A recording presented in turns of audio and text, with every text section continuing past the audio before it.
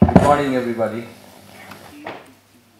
I must say at the outset that uh, I share the satisfactory optimism of Chief Justice Lalit, but I also associate myself with the anguish that my good friend Sondhi has expressed. And I must tell you why. You know, it's very interesting. Prime Minister Netanyahu of Israel today, with an extremely right-wing, you know, coalition government, is wanting to pass in his parliament law to say that the parliament will have the last word and parliament will have a right to override any judgment of the Supreme Court and that the government alone should have power to select the judges. Across Israel, millions and millions of people are standing up against industry. The tech industry in Israel is very, very powerful and very well entrenched. The entire tech industry is up in arms. Some of the best tech companies have threatened that we will leave Israel and go to other countries. Civil society members, judges, lawyers, politicians, workers, everybody is up in arms. In Jerusalem, almost more than 150,000 people you know, joined in demonstration about 10 days ago. Then 10 cities of Israel have seen very large-scale demonstrations. And to cap it all, the President of Israel told his cabinet and the Prime Minister that you are heading for a constitutional and a social disaster. Now that's the kind of a nation that we have. I still remember and I you know stand in awe. Sondhi is right about you know the yeah, inertia on the part of the bar and I must take a responsibility because I have been a leader of the bar. We are not really interested in independence of judiciary we don't care a damn what happens so long as you know we are able to get the briefs and just go about our business. Pakistan, under the dictatorship of Musharraf, when Musharraf removed Chief Justice Iftikhar Chaudhry, the entire bar and the judiciary across Pakistan stood up, fought and forced the dictator to bring back the Chief Justice. Now it is well nigh impossible in this country that anything of this kind can happen judicial, executive interference in judiciary, large scale today. Large scale. I mean, with greatest respect to Chief Justice Lalit, Justices uh, Lokur, Justice Gupta, whom I regard as some of the finest judges that I have seen in my uh, career of 44 years. But they are exceptions. They are a dying species. We have large number of judges who are highly questionable. They either lack the expertise the knowledge, most of all the commitment. And you see today what's happening in the country, that every activist is unable to get bail, even in simplest of the cases. Even stand-up comedians are unable to get the bail when he's produced before a judge for making some you know funny comment about the prime minister or somebody else. So, you know, the look at the kind of situation which we are facing today uh, uh of the people who are charged with offences in Delhi riot cases. Across the country, it's my experience now, which I have been observing very carefully, that opposition leaders are being arrested, you know, sometimes on flimsy grounds, sometimes on purely bailable offences, but are not getting bail from our uh, lower courts and high courts, and many a times from the Supreme Court. This is really very, very alarming. And this shows that there is large scale interference by the government in the appointment. Yes, there is a collegium system. Yes, the collegiums comprise and do deliberate very seriously. But I must say, I started in 1978 in Gujarat, and there were 14 judges in Gujarat High Court there. And I can dare say, each one was better than the other in terms of competence, in terms of intellectual level, in terms of integrity, in terms of courtesy, in terms of hard-working nature. I mean, all 14 of them were par excellence. I have seen a judge like Chief Justice P.D. Desai, who was Chief Justice of Himachal from Gujarat originally, Himachal Chief Justice, Calcutta Chief Justice, Bombay Chief Justice, and refused to come to Supreme Court because his junior was brought to Supreme Court. I mean, these are the kind of judges I have seen who were exceptional. Today, as it happened during Mrs. Indira Gandhi's time, that judiciary is becoming weak and weak. The collegium system is in place. The judgments of the Supreme Court are law of the land. And yet, there are judges like Akil Kureshi, Justice Jayant Patel, Justice Muralidhar, and many such examples, including Sondis, who are suffering beyond repair. And who is the loser? The nation, the public interest. The Supreme Court has power to ensure that our laws are implemented, power of contempt. But not once the Supreme Court has exercised the power of contempt since 1993. It shows that Supreme Court is afraid of taking the executive head on.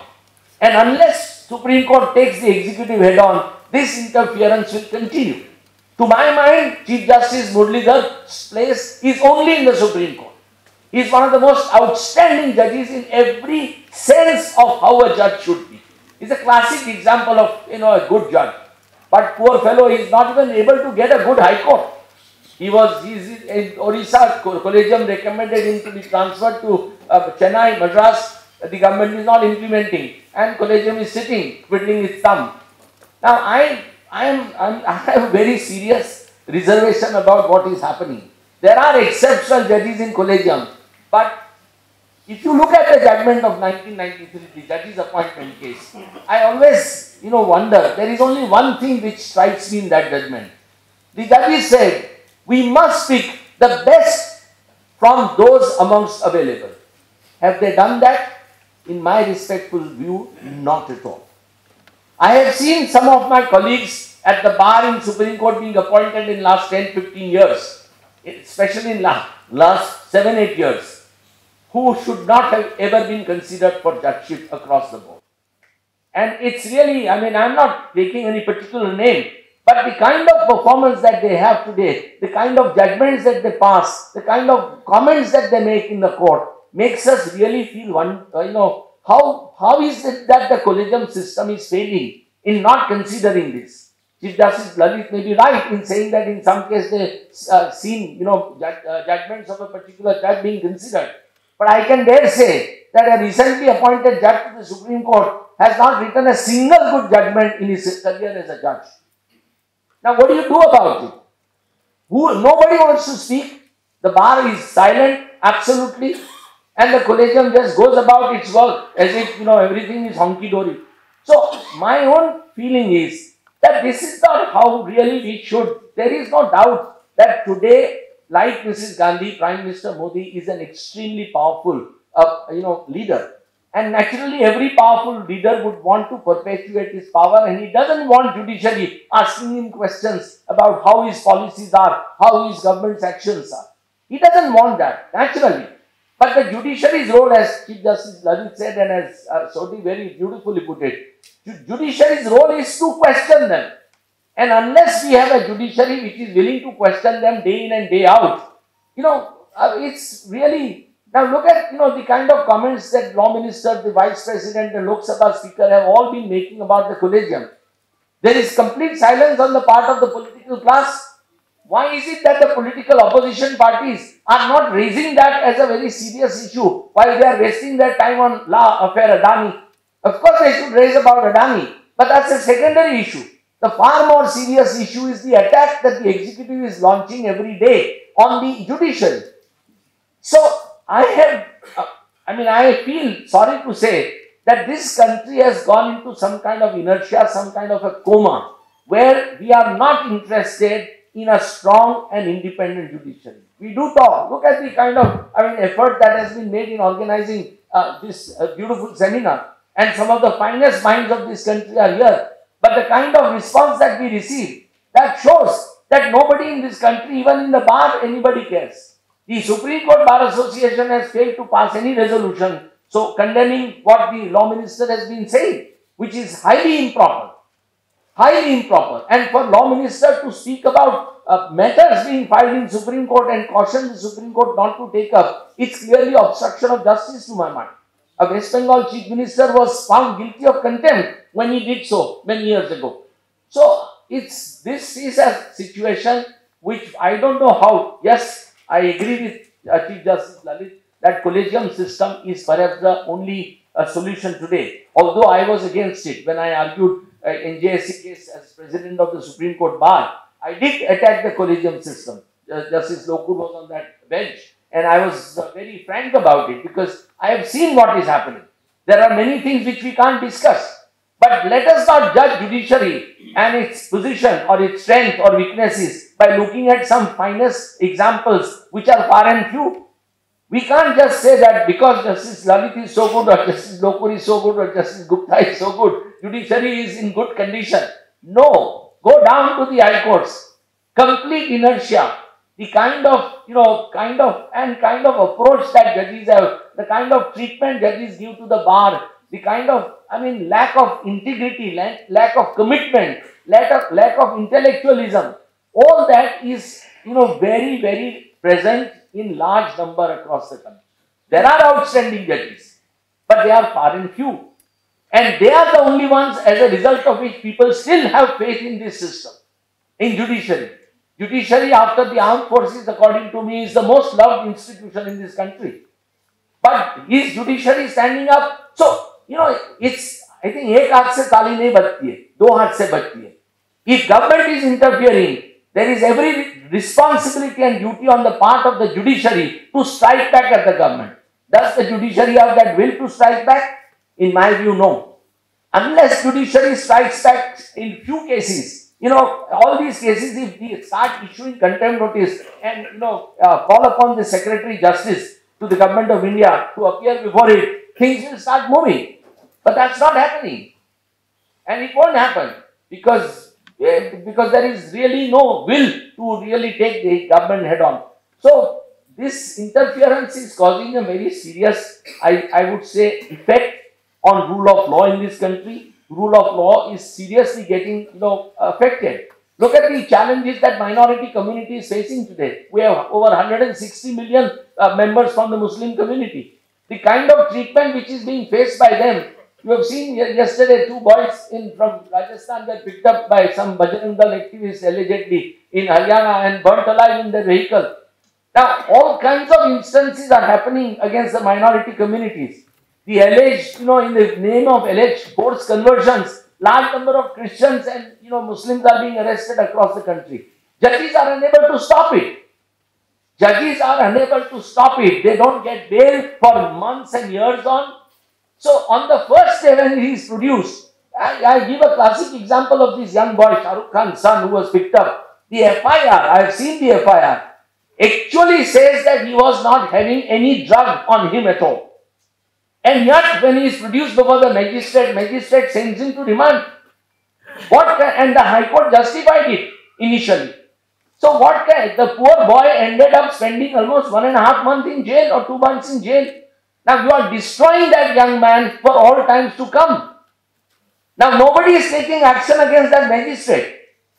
The judi has judiciary has a duty to suspend that magistrate straight away. But it's not being done. So, these, there are millions of examples which we see in newspapers today, which we come across today across the country. And unless we become strong as, a, as citizens, you know, unless we, I mean, it's not enough to say that we love judiciary.